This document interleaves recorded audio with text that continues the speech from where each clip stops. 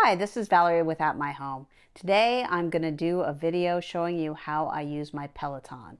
Now I've had my Peloton Bike Plus for a little over a year. I've done just over a thousand workouts in that time and I still love it. I'm not using it as a clothing rack as you can see. All right, so this is actually the Bike And I originally got the Bike Plus for a few reasons. I wanted to be able to pair it with my Apple Watch and it's got this auto follow feature that I can show you when I turn on the bike later. And then another thing the Bike Plus has over the bike is it has a swivel screen. Now, when I saw that, I thought, well, that's really stupid. Who needs a swivel screen? But you know what? I use the swivel screen every day. So it turned out to be a really cool feature. I'm glad I got this one. So we've got the Peloton bike set up here. It's on a mat. This happens to be my old bike trainer mat that I just repurposed. Uh, if you have, especially on a carpet, you need to have it on a mat to keep it all level. Uh, it's plugged into power and it also needs an internet connection. So we've got that all set up. And I, once I started doing all the strength training workouts, I added a nice workout mat out here in front. And then I found this little rack so I've been I store my dumbbells, my my bike shoes, my yoga blocks, my yoga blanket. And I got three sets of weights are over here on this rack. And then in the little basket over there, I keep some towels and some other equipment. Okay, so it's important to get your bike set up for how you need to use it. You know, all the different adjustments. You can adjust your seat depth, the height, the handlebar. And so there's a whole Peloton 101 that helps you get that set up and it gives you some information about the proper form. I actually uh, watched a setup video that Christine D'Ercole did, and Mark helped me really set it up and tweak it for me. It was actually, I needed to lift the seat a lot more than I expected. So if you are having any kind of pain or issues, it's always really important to try to get your bike fit to you.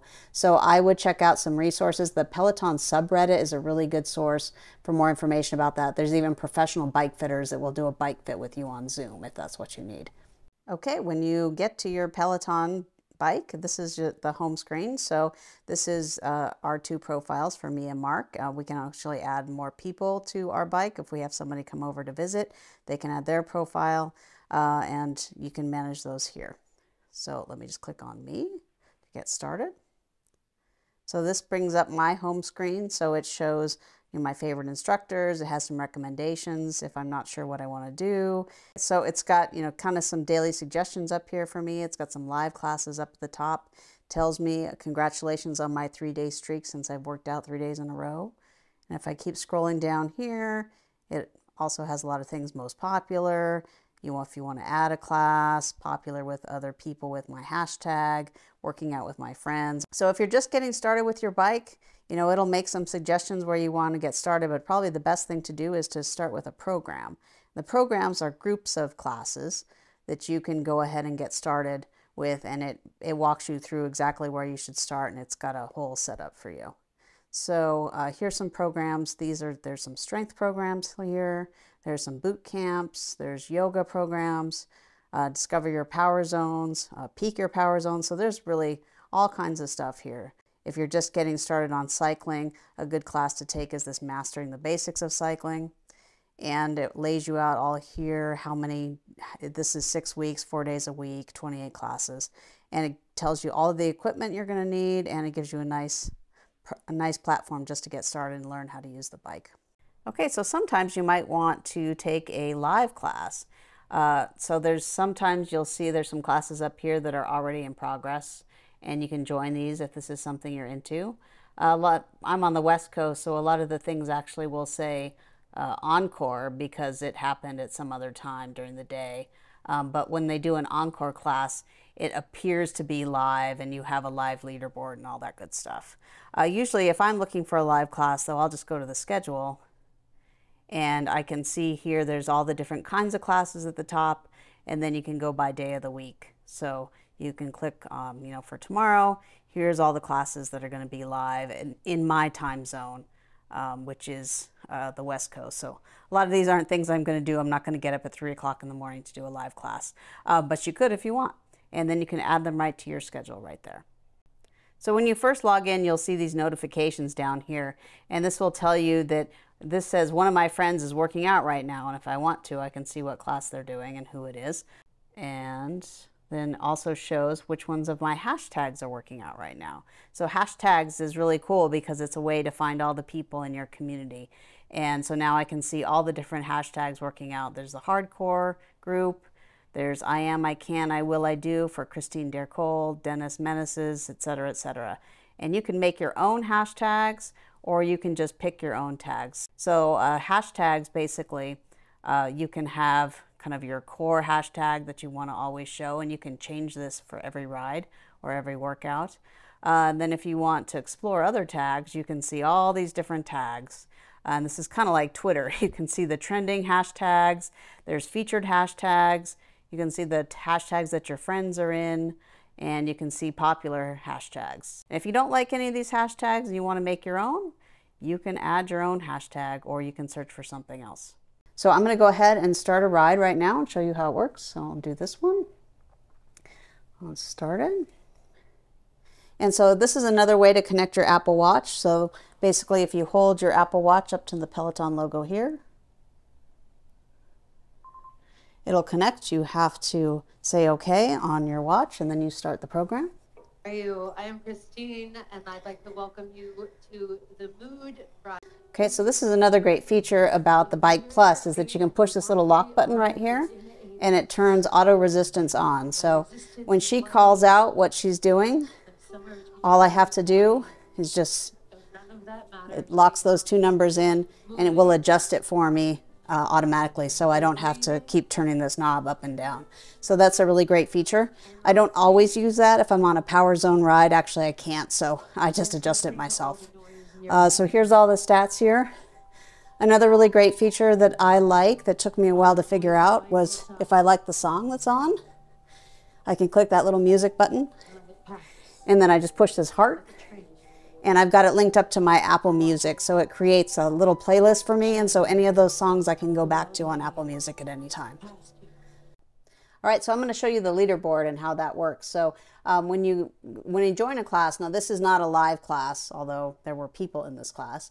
Um, so what it shows on the leaderboard, it shows the people of all time who've all done this ride. So 16,000 people have done this ride, and then it shows you who's here right now. So right now there's about 580 people doing this ride and you know you can just it shows you how you're doing against everybody else once you get started. Um, but if you uh, you know if that's too much for you to see yourself at the bottom like me you can filter yourself and you can filter it. You can show just yourself. So nobody else is on the leaderboard. You can also do like your gender your age group or you could do um, maybe you want to do your tags. So if I do the hardcore tags it shows me 37 people here with the hardcore tag, and then I can just race against them on the leaderboard. So it's a pretty cool feature, and it really helps you see who's there with you. It can be really motivating to give somebody a high five and have them high five you back.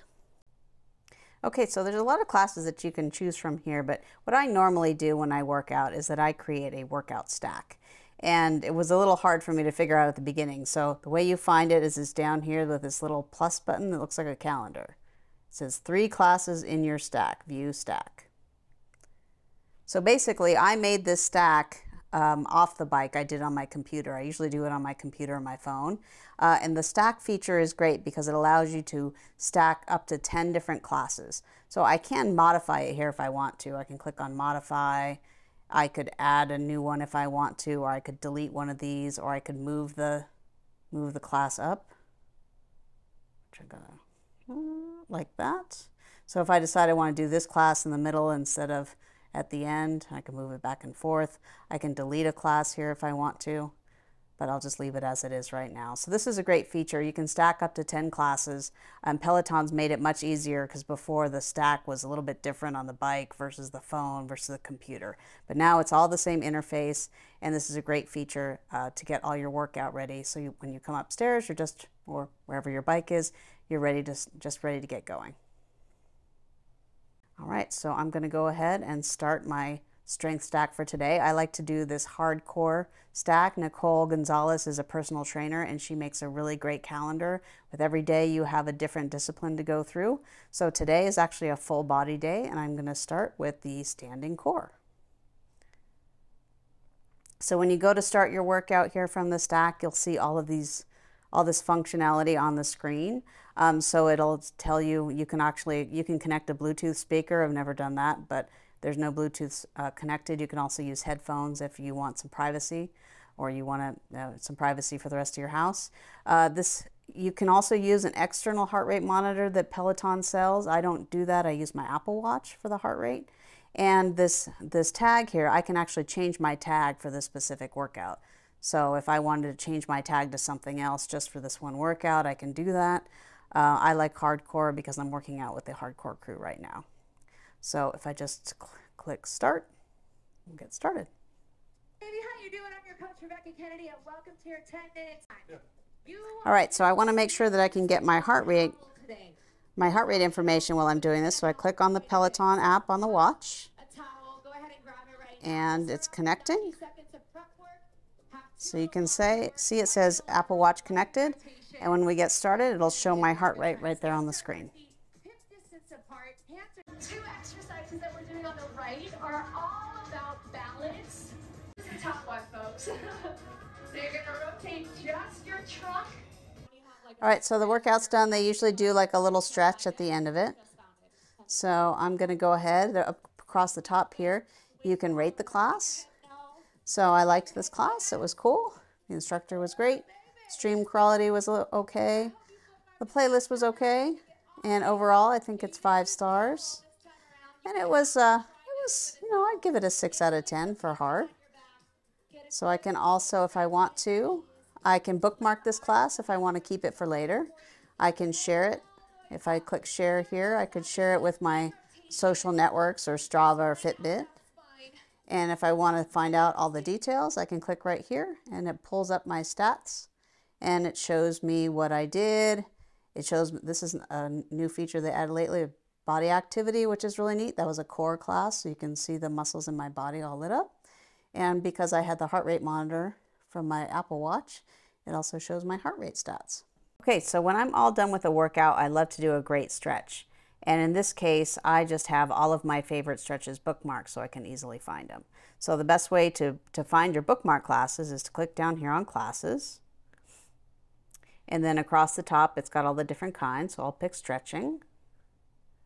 And this will show me kind of all the latest stretches. But if I don't want to do one of these, I can cl click over here on filters and then I click bookmarked and it shows 30 classes. So here's all my favorite stretches. They're all bookmarked. I've got different ones, full body, uh, upper body, glutes and legs. So I can just go through these and I can pick one I want to do. Okay, so I've had my Peloton bike for more than a year now, and I still love it. I thought I would love it just for the bike, but turns out that I love it for all the classes. I love the strength training, I love the yoga, I love the stretching, and it's really become a part of my life. I don't see myself ever going back to the gym. The best part is that I can just walk upstairs, come to the gym, have a whole library of workouts, and never have to leave my house. Thank you so much for watching our video today. I'll include more information, including a link with my Peloton referral code in the description box below. And while you're there, please don't forget to subscribe to our channel and ring the bell so you can find out the next time we do a video. And for more smart home stories, please visit appmyhome.com. Thank you.